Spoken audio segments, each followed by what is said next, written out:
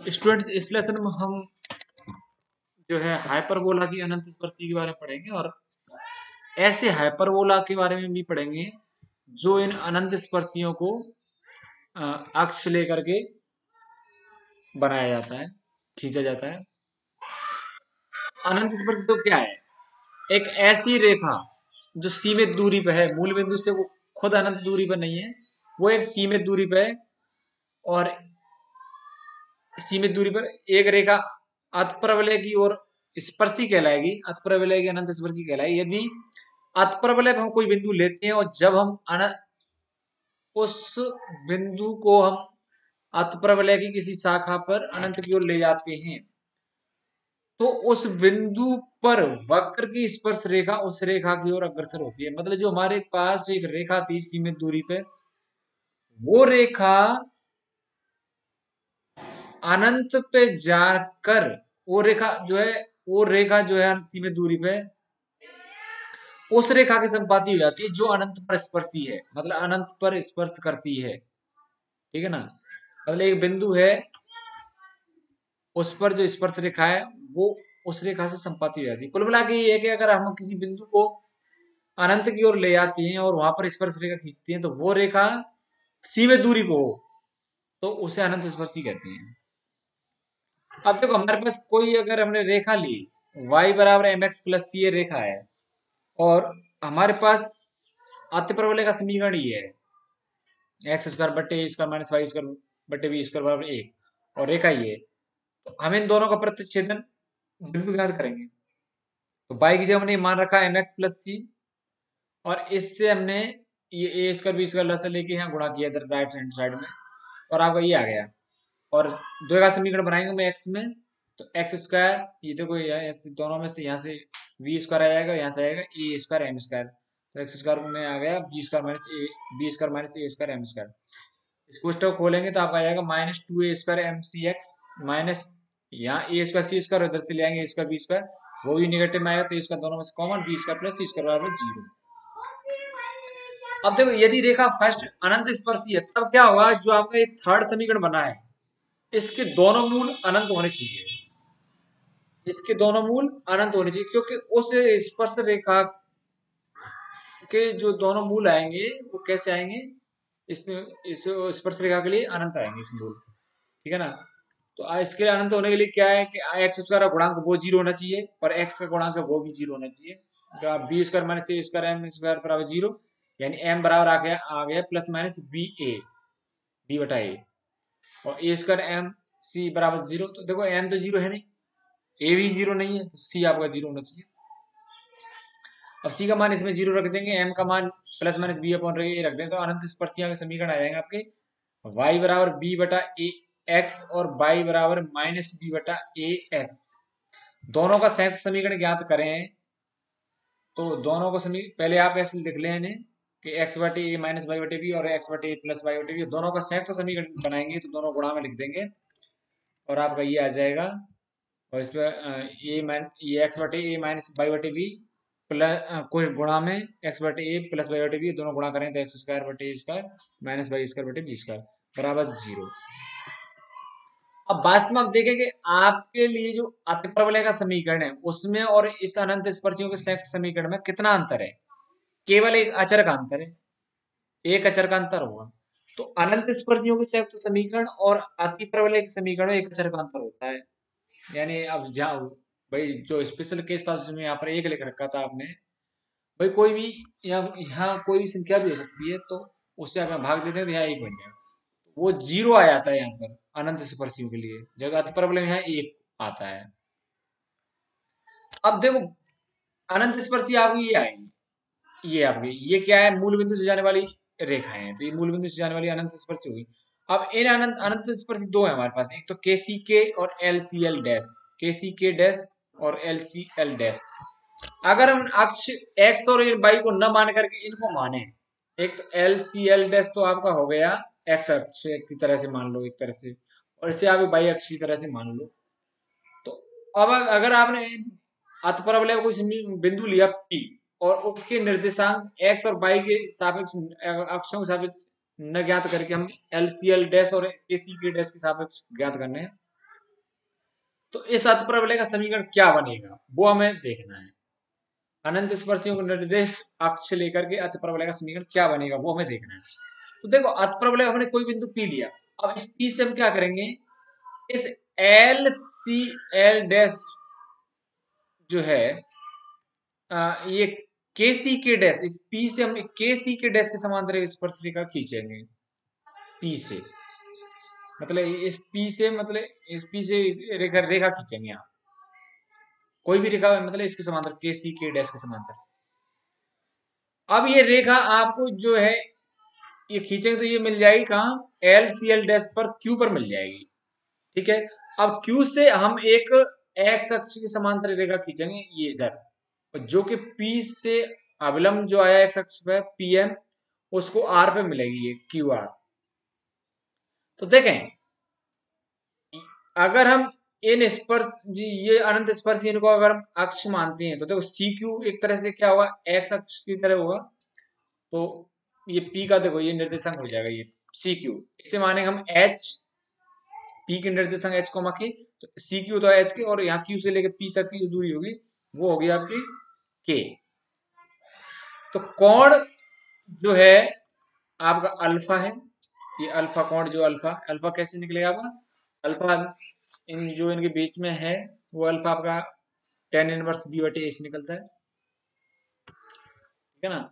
ये जो अनंत स्पर्शी इनके बीच का कोण है? वो आपका दोनों अनंत स्पर्शियों के, भाई ढालों की सहायता से आप इनके बीच का कोण निकाल सकते हैं? वो आपका टेन अल्फ़ा आता है। अक्ष के साथ जो अल्फ़ा कोण बनता है? वो आपका टेन इनवर्स बी बटे ए आता है। अब टेन अल्फ़ा बी बटे ए तो साइन अल्फ़ा बटे बी आ जाएगा और कॉस अल्फ़ा बटे ए आ जाएगा। तो इनको जोड़ेंगे तो sine square plus cos square बराबर एक होगा और इनका नीचे अंडर रूट ले लेंगे। A square plus B square का अंडर रूट आ जाएगा। अब देखें एक्स बराबर क्या है वास्तव में? भाई एक्स क्या है आपका?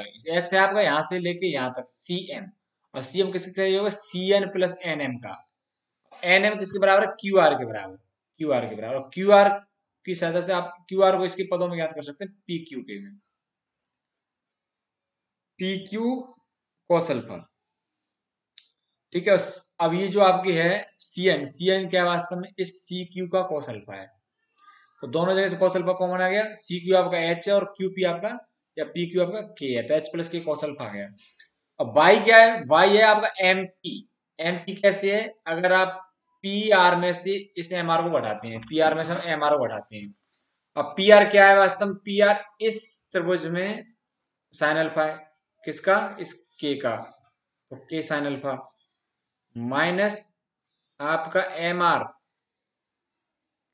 एम आर है आपका? एम आर है आपका? क्या? ये इसके बराबर एन क्यू और इस त्रिभुज में, छोटे वाले त्रिभुज में ये बनेगा आपका सी क्यू का साइन अल्फ़ा यानी ये एच का साइन अल्फ़ा एच का साइन अल्फ़ा ये. और ये बन गया आपका पी आर बन गया आपका के का साइन अल्फ़ा तो k sine alpha minus h sine alpha तो के माइनस एच साइन अल्फ़ा ये आ गए मान. अब एक्स और वाई के मान आप कहाँ रखोगे? पहले कॉस अल्फ़ा साइन अल्फ़ा मान रख लें। कॉस अल्फ़ा बराबर आ जाएगा आपका ए बट्टे under root a square plus b square और साइन अल्फ़ा का मान आ जाएगा बी को यहाँ ले जाएगा बी बट्टे under root a square plus b square इन दोनों मानों को आप रखोगे कहा? दोनों मानों को रखोगे अतपरवलय के समीकरण में। एक्स स्क्वायर बटे स्क्वायर माइनस वाई स्क्वायर बटे बी स्क्वायर बराबर एक में। तो इसमें आपने मान रखा, यहाँ रख देंगे। ठीक है? ये आ गया आपका। अब इस नीचे लसा आएगा स्क्वायर प्लस बी स्क्वायर और ऊपर इन्हें कोष्टक खोले तो ये एच स्क्वायर से एच स्क्वायर कट जाएगा के स्क्वायर से के स्क्वायर कट जाएगा, अब फोर के एच आ जाएगा। फोर के एच के बटे में स्क्वायर प्लस बी स्क्वायर ठीक है? एच के बराबर आ जाएगा a square plus b square बटे चार। अब एच के का बिंदु पता हमें तो एच के तो एक बिंदु है आपका। एच के तो केवल एक बिंदु है उस बिंदु का बिंदु पता आप ज्ञात करें तो उसको एक्स और वाई से रिप्लेस कर देंगे। एच को तो एक्स वाई बराबर आपको आ जाएगा a square plus b square बटे चार। अब a square plus b square बटे चार अच्छा है तो उसको हम सी स्क्वायर लिख लेंगे। और अगर आप आयतीय परवलय लेते हैं तो आपका ए बराबर बी होगा, तब आपका सी स्क्वायर किसके बराबर आएगा? A square plus a square बटे चार यानी दो ए स्क्वायर बटे चार यानी ए स्क्वायर बटे दो। अब तो आयतीय अथ परवलय एक्स वाई बराबर सी स्क्वायर के बिंदु एक्स वन बाई वन पर अगर स्पर्श रेखा और अवलंब आपको ज्ञात करना हो तो कैसे ज्ञात करेंगे? तो देखो एक्स वाई बराबर सी स्क्वायर आपका। देखो ये एक्स वाई बराबर सी स्क्वायर ये आपका क्या हो गया? किसी अत प्रवलय के अनंत स्पर्शियों को अक्ष लेकर के अनंत स्पर्शी का समीकरण है। एक्स वाई बराबर सी स्क्वायर यानी एक्स वाई सी स्क्वायर उसी अनंत स्पर्शी का समीकरण है जिस, जिसकी अनंत स्पर्शियों को अक्ष लिया गया है। ठीक है? एक्स वाई बराबर सी स्क्वायर ऐसी तो आपसे पूछा जाएगा एक्स वाई बराबर सी स्क्वायर क्या है? तो एक अति परवल है, लेकिन अति परवल किससे बनाई गई है? इसकी अनंत स्पर्शियों को अक्ष मान करके। एक्स वाई बराबर सी स्क्वायर एक्स वाई बराबर सी स्क्वायर पर बिंदु हमने ये लिए। अब देखो, ये दो बिंदु हैं। दो बिंदुओं को मिलाने वाली रेखा का समीकरण क्या होता है? वाई माइनस वाई वन बराबर y two minus y one x two minus x one x minus x one अब एक्स वन वाई वन बराबर c square x two y two बराबर सी स्क्वायर ये दोनों अति परवल समीकरण को संतुष्ट करेंगे तो दोनों इस पर स्थित है। तो तो y two minus y one आ जाएगा आपका, सी स्क्वायर बटे x two minus c square बटे एक्स वन। आपने सी स्क्वायर लस कॉमन ले लिया, और ये आया x one minus x two बटे एक्स वन एक्स टू। अब x one minus x two आप y two minus y one के बटे में लिया x two minus x one हमने चेंज चेंज कर दिया तो ये आपका माइनस आ जाएगा यहाँ, माइनस सी स्क्वायर बटे एक्स वन एक्स टू। अब ये मान आप रखो, इस समीकरण में यहाँ, रेखा के में यहाँ रखा।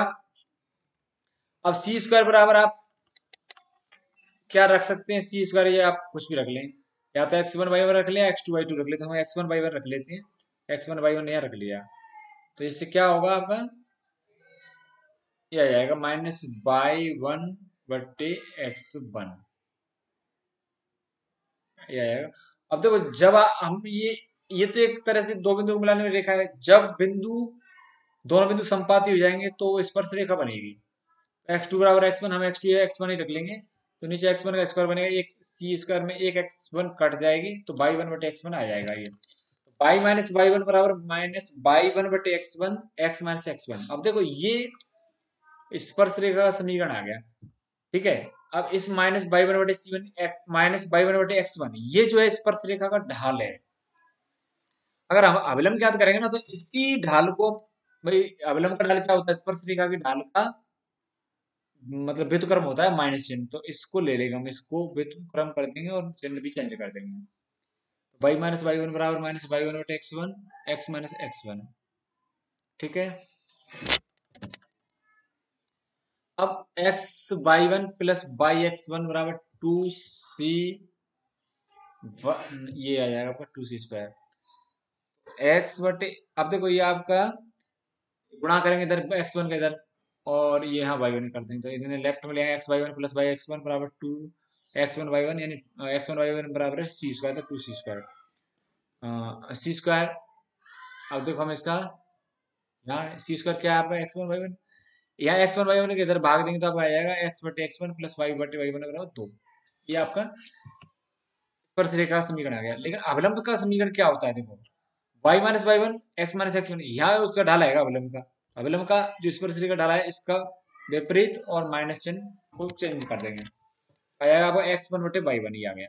अब इसका यहाँ गुणा करेंगे तो आप और इधर x x minus x one y one का गुणा करें तो बाई वन माइनस इसको इस तरफ़ ले आएँगे। तो x x one minus y y one बराबर एक्स वन का स्क्वायर माइनस बाई वन का स्क्वायर ये आपके समीकरण आएगा अविलंब का। अब देखें, अगर आप प्राचलिक निर्देशक अब हम प्राचलिक निर्देशन क्या करेंगे कि आपका एक्स वाई बराबर जो सी स्क्वायर है ना, उसका प्राचल समीकरण बनता है एक्स बराबर सी टी और वाई बराबर सी बटा टी ये प्राचलिक निर्देशांक है यानी आप अगर आप देखो एक्स वाई बराबर सी स्क्वायर होता है तो आप गुणा करके देख सी टी बराबर सी टी गुणा सी बटे टी से करेंगे तो टी से टी कट जाएगा सी स्क्वायर आएगा। तो एक्स वाई बराबर सी स्क्वायर होता है। तो ये निर्देशांक सही है।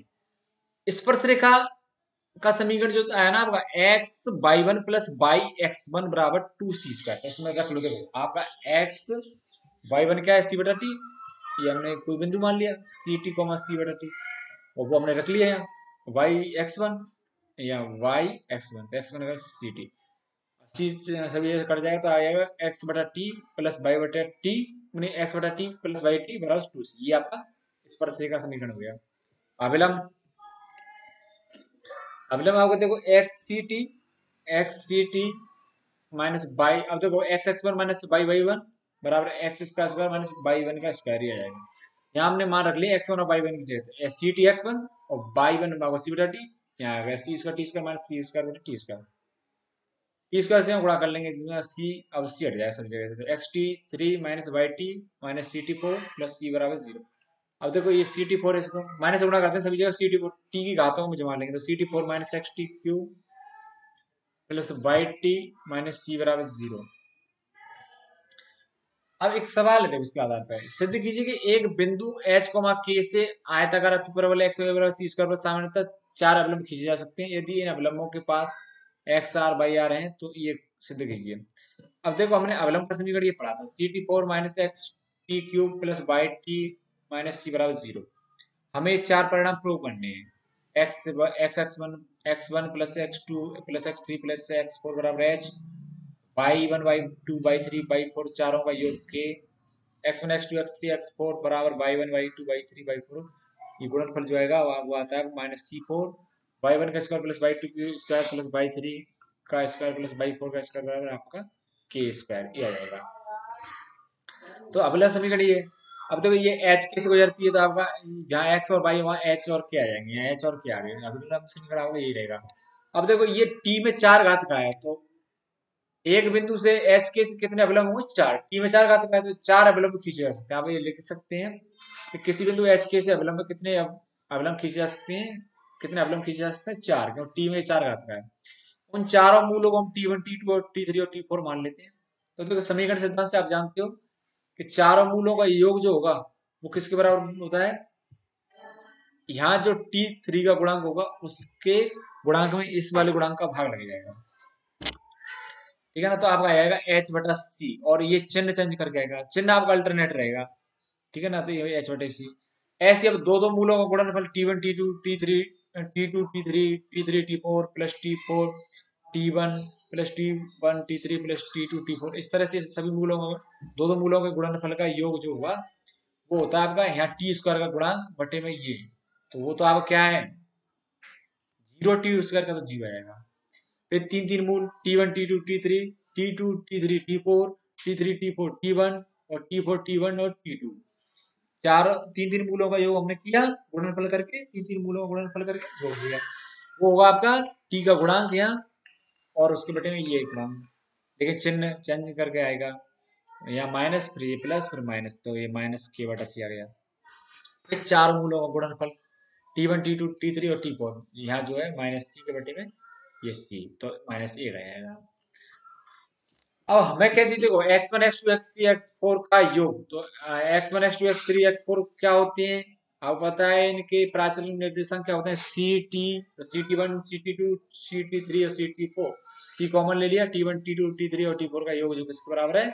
तो आपने यहाँ देखो ये लिखा था t one t two t three का योग किसके बराबर एच बटे सी तो आपने एच बटे सी रख दिया। सी सी कर दिया बराबर एच आंसर रख दिया। Y one y two y three y four तो बाई वन क्या है? निर्देशांक होते हैं सी बटा टी तो सी और सभी जैसे सी कॉमन आएगा तो एक बटे टी वन टी एक बटे टी टू एक बटे टी थ्री और एक बटे टी फोर का योग। T one t two t three आपने टी फोर लस ले लिया, ऊपर आपके देखो टी वन का भाग देंगे तो टी टू टी थ्री और टी फोर आ जाएगा। इस तरह से ऊपर आएँगे आपके तीन तीन मूलों के योग। और तीन तीन मूलों के गुणनफल का योग आता है माइनस के बटा सी तो माइनस के बटा सी माइनस के बटा सी और नीचे आएगा आपका t one t two t three t four तीनों, चारों मूलों का गुणनफल जो है कितना है? माइनस एक है। तो माइनस एक रहेगा तो माइनस माइनस कट जाएगा सी से सी कट जाएगा, क्या आएगा? अब चारों मूलों का गुणनफल x one x two x three x four का गुणनफल क्या है? C t one c t two c t three c t four तो t one t two t three और टी फोर का गुणनफल माइनस एक आएगा सी फोर सी फोर है। तो माइनस सी फोर आएगा इसी तरह से y one y two y three y four का गुणनफल आएगा सी बटे टी वन सी बटे टी टू और सी बटे टी थ्री सी बटे t four t one t two t three और टी फोर का माइनस एक है ऊपर सी फोर है तो माइनस सी फोर आ जाएगा। फिर आप देखें कि बाई वन का हमें योग याद करना है बाई वन का square plus y two square plus y three का स्क्वायर प्लस बाई फोर का स्क्वायर देखो, ये चार संख्याओं को स्क्वायर में है, ये किसके बराबर होगा? तो आप पहले इनके बाई वन और by two by three by four के निर्देशांक रखें प्राचल उनके मान तो सी बट सी स्क्वायर बटे टी वन का स्क्वायर सी स्क्वायर बटे टी टू का स्क्वायर इन सभी में सी स्क्वायर कॉमन आ जाएगा तो बटे बनेगा एक बटे टी वन का स्क्वायर एक बटे टी टू का स्क्वायर एक बटे टी थ्री का स्क्वायर एक बटे टी फोर का स्क्वायर अब देखो इसको हम कैसे ज्ञात कर लेंगे अगर हम एक बटे टी वन एक बटे टी टू एक बटे टी थ्री और एक बटे टी फोर इनका होल स्क्वायर करें इन चारों को जोड़ के होल स्क्वायर करें उसमें से हम अगर इससे घटा देते दो दो मूलों का गुणनफल और दो का गुणनफल ये तो ये इसके बराबर है। ये जो मान है वो इसके बराबर है। अगर हम चारों के योग का, चारों के योग का स्क्वायर करके उसमें से दो दो दो के गुणनफल का योग घटा दें और दो से गुणा करके तो ये जो है इसके बराबर है ये। तो अब देखो, इससे क्या हमें सॉल्व करने में आसानी रहेगी? क्योंकि वो ये बटे वाले जो मूल आपने जोड़ के देखे थे वो क्या मान आया था? के बटा सी आया था। देखो यहाँ के बटा सी निकाला था आपने। ये ये आया था। ठीक है ना? ये बटे में इन चारों को योग किया था ना? यहाँ ये के बटा सी तो के स्क्वायर बटा सी से आ गया। एक बटे टी वन टी टू ये आपका जो है दो दो मूलों का गुणनफल। फिर आप लस लेंगे इसमें तो T one T two T three और टी फोर आपका लस आएगा। फिर दो दो मूल आएँगे तो दो दो मूल वाले का जोड़ जो क्या है वो आपका ज़ीरो है ये। तो दो दो का मूलों का जोड़ आएगा ज़ीरो और तो ये आ जाएगा ज़ीरो आपका, ये वाला समेसन तो दो माइनस दो गुणा ज़ीरो तो ये ज़ीरो तो सी स्क्वायर से सी स्क्वायर कट जाएगा आपका आंसर आएगा के स्क्वायर इस तरह से आप आयतीय पर लेंगे शेष सवालों करके देख सकते हैं।